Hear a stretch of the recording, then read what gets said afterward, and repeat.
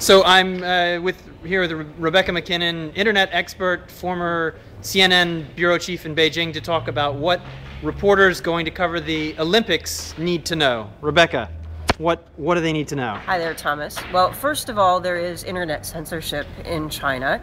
It may be lifted a little bit in the uh, Olympic venues and so on, but you're not going to be very sure exactly what you're going to find until you get there. So before you go, make sure you have a virtual private network setup, a VPN. WiTopia is one that works well, or your company might have a VPN. Make sure you know how to use it. Uh, or you can use something like Tor or Psiphon to get around the internet blocks so you have some way of accessing sites that might be blocked. You also need to be thinking about your data security.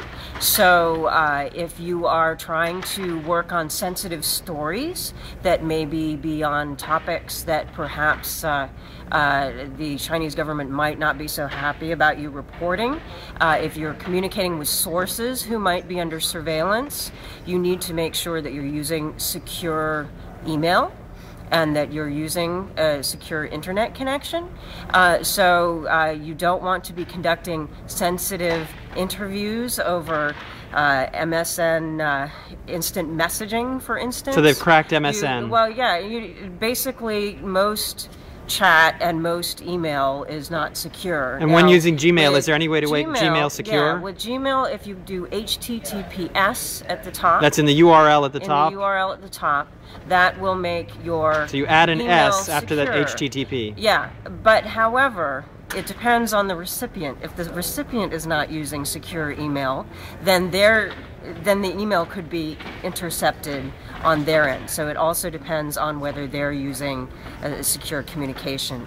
Um, so if you really want to be secure, actually, uh, you you minimize your substantive communications electronically, and you try and have them in person with people.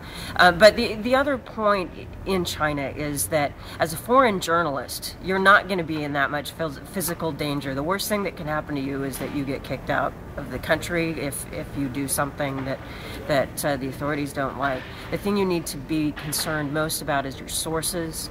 You know, are you going to be getting other people in trouble?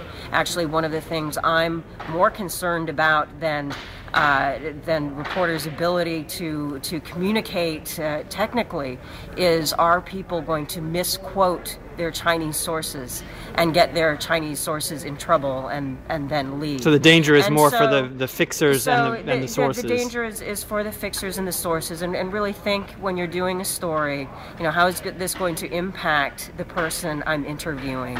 Uh, what are the implications of being involved with this story for my fixer, um, for the people who are helping me? And, and, and, and really think about the entire context of what you're doing. Okay, so VPN to get out of China, mm-hmm. secure your email, That's take right. care of your sources. What, what about your data? Should you be scrambling your data on your laptop? Well, this is an issue. If you leave your, your laptop and it's and it's not secured, and you leave it in your hotel and you go out, um, there are plenty of stories of people who've uh, either discovered or not really realized that uh, that their data was compromised. Somebody had gone in and copied their hard drive, or somebody put some spyware or uh, keylogger on their on their computer so that even if they did have secure email, somebody was uh, logging their communications. So uh, there are definitely people who are supremely paranoid, keep their laptops with them at all times, uh, or might store sensitive data on a USB key they keep with them, and they don't keep it on their hard drive. So, so these are these are all issues to think about. Now, you know, again, it, it's it's a matter of convenience versus paranoia. If you want to be 100% secure, you have to go to extremely extreme lengths. Um, however, you know you need you need to think about specific situations and what are the consequences of certain information being consequent being compromised in certain situations, and and then act accordingly. And just again think about the implications not only for your story, but more importantly for the human beings involved, but you know, I think uh, with the Olympics generally, I doubt we're not. I doubt we're going to see too much dissident activity. I think most people are going to be lying very low. Uh, I think there may be a lot of visitors to China uh, roaming around looking for a story, um, and, uh, and and that's that's actually. A, a concern as well, and I've I've actually, to be honest, I've told many of my Chinese friends um, avoid the visiting journalists because parachute um, journalists are bad news. Well, you know, uh, I have friends who are parachute journalists. I'm not not going to say that they're always bad all the time, um, but there's a lot of risk to talking to journalists during the Olympics, and for for many.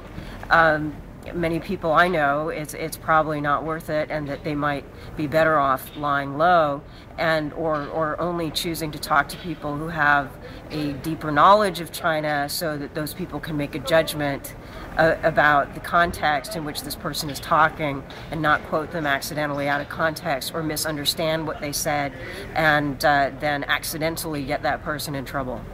Okay, in terms of judging how much precaution people need to take, do you yourself scramble the data on your hard drive? Do you carry that's around a, a USB that's a key? Good question.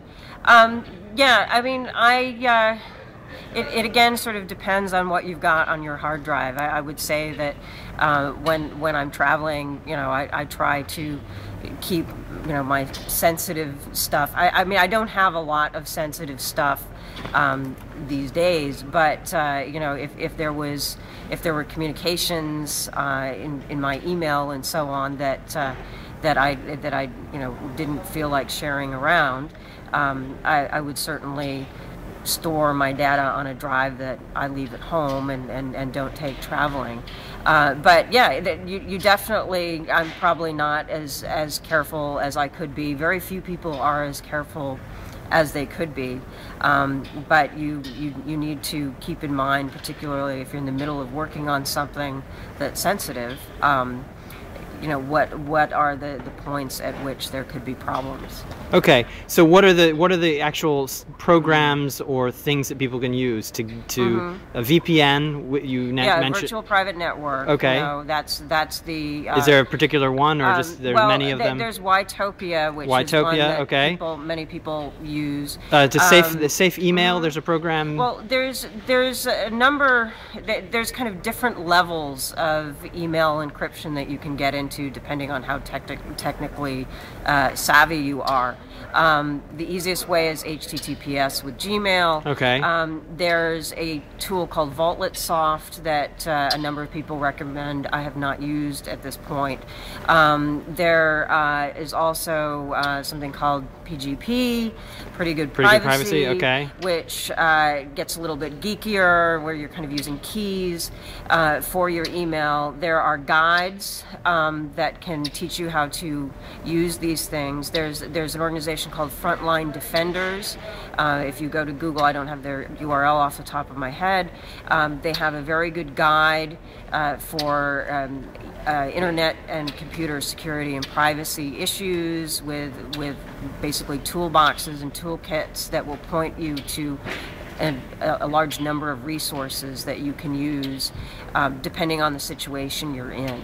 Okay, excellent. And otherwise, people can enjoy uh, using Wikipedia before they get to China. Yeah, well, you can use it while you're in China. Just use Tor or or a VPN or you know any number of tools to to circumvent the censorship. But y- you do want to get it figured out a little bit before you go because once you get there if you haven't been thinking about it at all it becomes a little harder to set up okay excellent thank you very much you're welcome